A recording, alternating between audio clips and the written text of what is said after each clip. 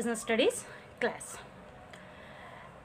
Today we'll start with learning different types of training methods. In what are the different ways the training will be given to the employees of the organization? Because we have seen training is beneficial to both employees and also to the organization. Okay?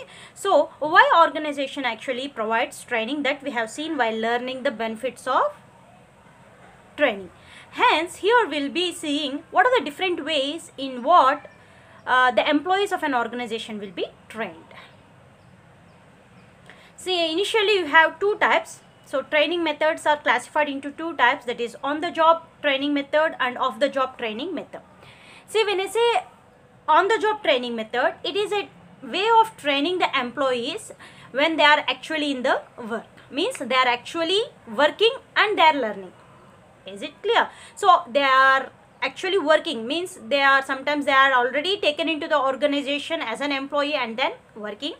And in some cases they will be for that particular period they will be taken as an employees okay for training and training will be given. That is they will be making the trainees to learn the job. That is what your on the job training method means. Actually they are working and learning the work when you say this off the job training method it is the way of training where you will be teached about the work where you will be made to learn the work taking apart from the actual workplace. Means you are not actually in the workplace. You might be the employee of an organization but also you will be taken outside of an organization and you will be uh, made to learn some of the work so this is the major difference between on the job training method and off the job training method. Simply you try to understand if it is on the job training method you are actually learning doing the work and learning the work okay.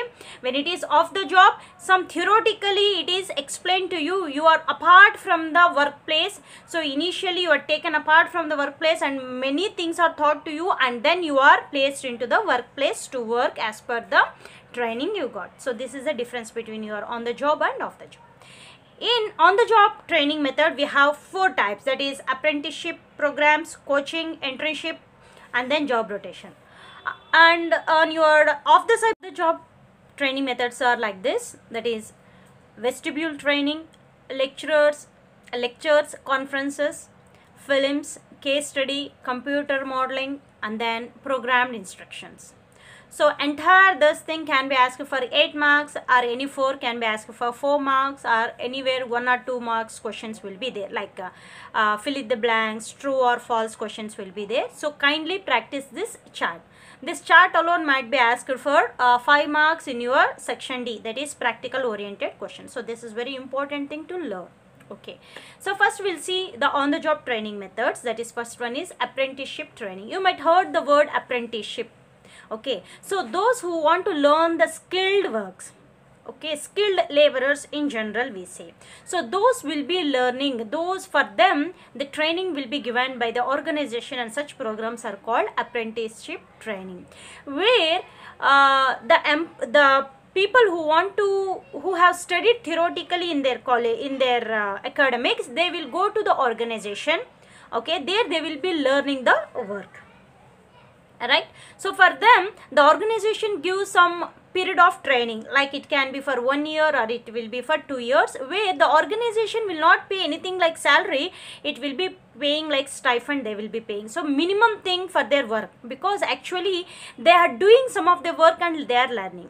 See when organization needs freshers for the uh, for the works which is not so important not so skilled workers so for example, one perfect worker will be there. Under him, they need only three helpers. Okay. In that, in such an organization, in such a situations, they'll call for apprenticeship. Okay. Those who have just completed their academics regarding that particular skills, they will go and join in that particular organization as an apprentice okay the one who is getting the apprenticeship training is called apprentice okay he will be doing the work under a particular person who is already skilled for them the organization will be paying the stipend not actually salary and they are not actually called as an employees of an organization. They are just learning the work and organization is getting the work. Is it clear? So that is called your apprenticeship program where it is will be for skilled laborers like plumbers electricians okay? All these people such skilled workers will be learning this. Like uh, uh, those who want to be uh, skilled in that particular work will be having this apprenticeship training. Then comes coaching. Coaching is a type of training where an employee will be there. Means he is already appointed through selection procedure and all. He is he is an employee of an organization. Under a particular manager he will be working see in apprenticeship he may not be the employee of an organization and he may not he will not in general. But in coaching what happens he is already appointed as an employee of an organization but he is placed under a manager. That manager is called as an coach. Okay. So that manager will be having entire authority over the one who is taking the coaching.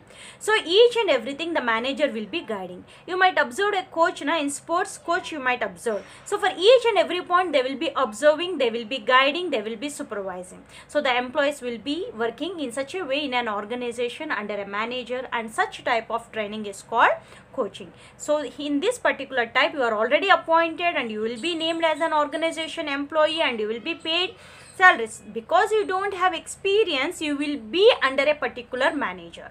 And this manager will be like a supervisor over you. Like a coach. Each and everywhere he will be guiding you.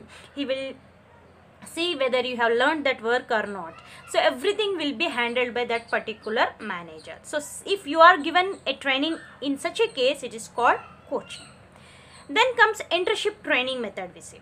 Internship training in the sense it is just an uh, uh, like what we say agreement between the organization and the uh, education institutions see some of the education institutions need practical experience. You might observe uh, the medical students. Uh, when they enter in their final year they will be going to the hospitals and they will be working even you might observe the jewelry making students art okay. Even they will be going to the particular shops and there they will be working for a certain period of time. There they will be actually not paid salaries but to their work they will be paid some of the amount. Internship fee they will be paying okay. Internship uh, reward they will be paying the organization will be paying. So here here also what happens the employees are not actual i mean the workers who is taking the trainer training is not actually the employees of an organization. So they are students of an organization. Because they need practical experience to learn their academics they are taken into the organization. Hence i said it is an agreement between the organization and educational institutions. So some of the educational institutions will be having tie up with the organizations and hence whenever there is a necessary these students will be going to the organization and practically they will be seeing what is going on how we have to work on. Everything will be they will be learning many times the organization pays them some of the reward for their work because they will be actually working there. Okay. So when you see these medical students they will be treating patients actually okay they may not be given higher positions but they will be given work in the organization and they will be doing the organization work hence the organization pays them some reward.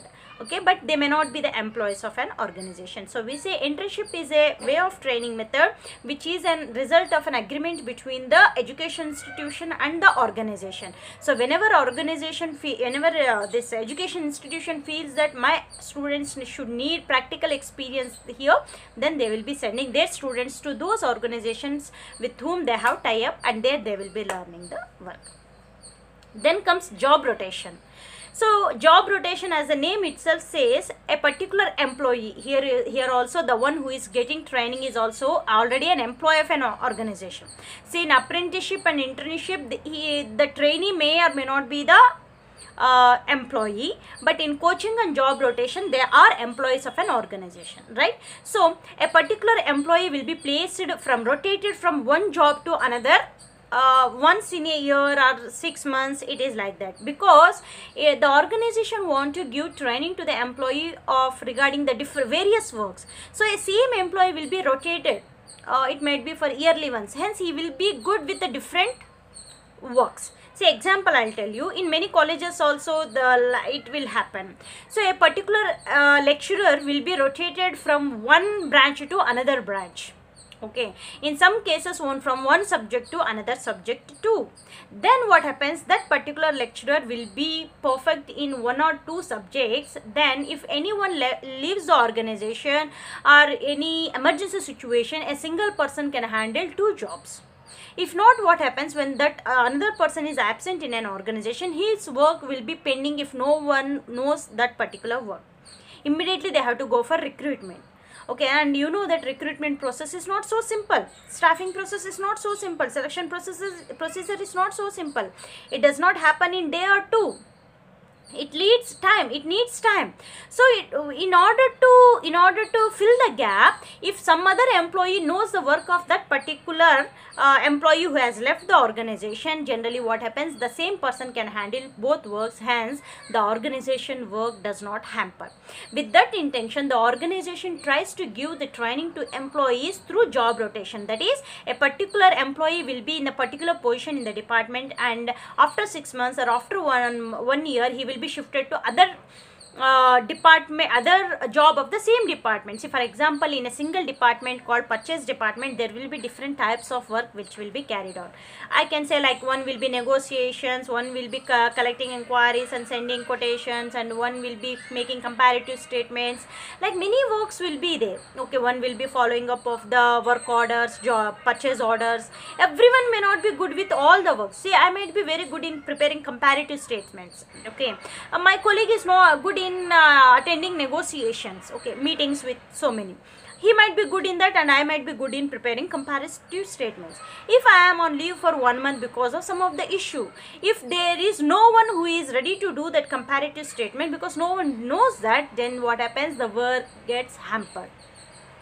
In order to avoid such difficulties, generally training will be given to the employees. So, 6 months I will be in this particular work, later I will be shifted, I will be rotated to the uh, negotiation section. So, there I will be learning negotiations, how to do and all. So, and other party will be learning my jobs, that is how to prepare comparative statements and all. So, if I am absent, that person will be taking care of my job and if uh, uh, that person is absent, I will be able to take his job. In order to make the smooth working of an organization such training will be given to the employees of an organization. So these are the four types of your on the job training method. On the other side you have off the job training methods. Like first one is your vestibule training. So vestibule training is a type of training where the employees are given training in an artificial work environment. It means exact to the real working situation, working environment, then artificial working environment will be created and there the training will be given to the employees. Imagine a situation where you have to get training with the new equipments which are very sophisticated, costly equipments you have. So that uh, new technology you have to adopt for your organization. So generally when you are adopting the new technologies, your employees has to be trained with that new technology so that they can use the technology, use that machineries. Okay. In such a situations, the employees are not directly given the real equipments to them because if they do some wrong operations, the equipments may fail and you have to spend more money on that. So your cost ex expenditure increases. In order to avoid such situations and working environment, artificial working environment will be created, artificial missionaries will be created and there the employees will be given training. They are the employees of an organization. Hence, they have to adopt. They should uh, know the new technology and the new missions. So in order to make them familiar with the things they will be given with the artificial machineries artificial entire working environment will be created and there the training will be given. So that nothing loss happens to the organization. So next is your lectures or conference. It is just like theoretical. Making uh, the employees, the trainees sit in a conference room and giving uh, the training the way of lecture. What we are doing now. Like uh, we explain each and everything. Right. In that way, the training will be given to the employees that is in the way of lecture, teaching and next is films generally this will be added to your uh, lecture see whenever we explain the thing something videos will be showing short films will be if we show generally it will be giving a good information to the trainee so uh, that training will be captured I mean the one who has already done or explained that will be captured and that will be made as a short film and that will be shown to the employee. So in that way also they will be learning the training. Then comes case study. Case study is a method of teaching the trainees by by giving the real working situations. For example a particular situation might happen uh, somewhere in an organization and that situation will be given to the i mean explained to the trainees and ask them to go with the case study. So different employees trainees will come out with the different techniques to solve that. In that way the training will be given. Through case studies they will be solving. Case study in the sense the particular situation has happened somewhere and that will be taken as an uh, as an guide to train to the trainees then comes your computer modeling. Through computer see animations through animations the work environment everything will be created. Through that it will be taught to the trainees and last one is programmed instructions. So it is a type of training where you know you might be knowing the programs. We have seen one of the type of the plan is program. So a program is a precise plan actually okay? So a programmed instruction training is a particular training is divided into small parts and each part will be explained to the employees in such a way that they should be good enough. It will be a sequence a series of activities to learn a single uh, work. So in that way it will be a programmed instruction in the sense entire uh, training will be divided into many small series and that will be uh, made learned by, to the employees. So all these are the different training methods where the employees are trained. The trainees are trained by taking out of the working environment. Here all are the employees of an organization. See in the on the job method you have uh, two types where the employee they may not be the employees of an organization just they are the trainees. But in off the job uh, uh, all are the employees of an organization and all will be thought of the work by taking them far from the real situation. So these are your types of training methods. Uh, go with the notes and textbooks.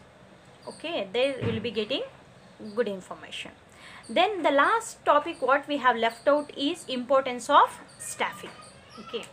We have seen many things about staffing and lastly we'll come uh, complete uh, conclude with the importance of knowing staffing so here are your points like it helps to obtain competent workforce. So staffing, if you have a staffing process in your organization, staffing function if it is carried on by a manager in your organization, it will help you to obtain competent workforce. What is this competent workforce in the sense the ability of competing.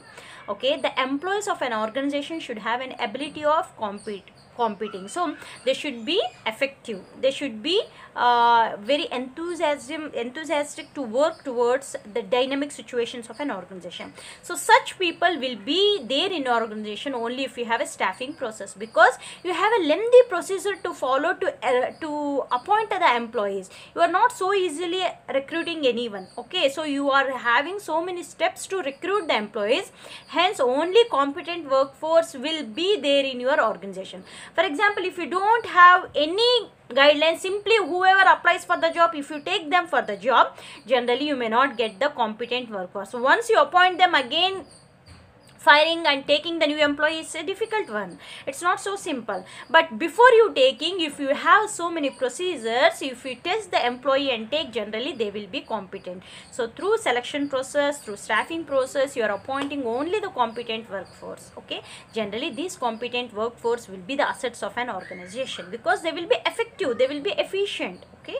They can adjust themselves with the working environment then uh, it helps staffing helps to place a right person in the right uh, right person in the right place yes we know that staffing is a staffing is a uh, staffing in the sense placing a right person in the right place see what happens i might be very able employee efficient employee but if I am placed in a wrong place, that is if I am placed in a wrong position, I am interested in purchase but you have placed me in the place of uh, finance, then what happens? I may not be efficient in that particular finance department. So all these will be known to the um, employer to the uh, performance appraisal. See when performance appraisal step is carried on through your staffing process, you will be writing your area of interest.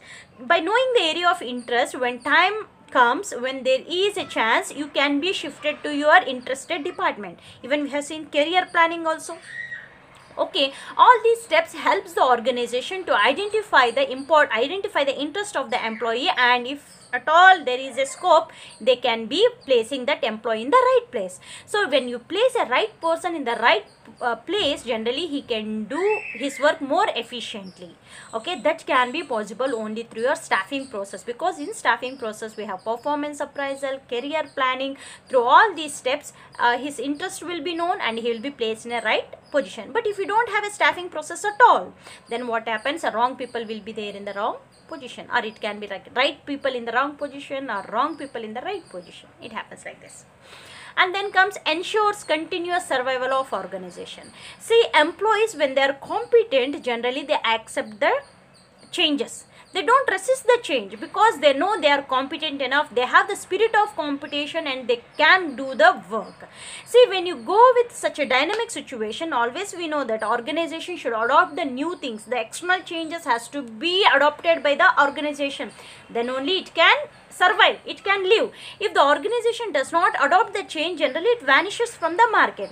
So when an organization can adopt such an changes only when it has a competent workforce. So because the organization appoints competent workforce through the staffing process it can face any situation. Okay? So when it is facing any it can face any situation. Generally it exists in the market for the longer time then it ensures optimum utilization of resources. As we know that through uh, through training the employees are trained how to use the equipments how to use the resources. Generally training is a part of what? Your selection procedure and your selection procedure is a part of what? Staffing. So hence if we have a good staffing function in your organization your employees will be trained and when they are trained your resources will be least wasted. Means your wastage will be very least and sometimes no wastage at all. Hence what happens? All the resources you are utilizing to the optimum extent. So when you are utilizing the resources to the optimum extent your cost reduces and your profit margin increases then last, it improves job satisfaction and morale of employees. We know that when you are giving promotions, when you are giving training to the employees through staffing and selection procedures, always remember your selection is a part of what? Your staffing procedure okay hence when you give all this training like uh, training to the employees when you promote them when you have career planning for them all these generally increases the morale of an employee and job satisfaction of employee they will be uh, emotionally attached with the organization okay such employees really uh, they are they become the uh, assets of an organization. So such employees can be created only if you have a good staffing uh, function in your in your organization. So apart from planning organizing staffing is also most important function of a manager. Okay so these five points you have this can be asked for four marks or anyway two marks. Okay so here we have completed our staffing chapter. We have to start with our directing. Okay in next class we'll start with directing chapter so if at all you have missed any of the videos of previous chapters go through that. As i always say your previous chapter serves as a base for your next chapter. So everywhere in-depth explanation may not be given because already we might given that in the past previous chapter. So kindly whenever you missed uh, if uh, if at all if you missed enough any of the videos go through those videos and be equipped with the knowledge so that we can go with the next chapter hope you do so. Till we meet in our next class. Take care. Bye bye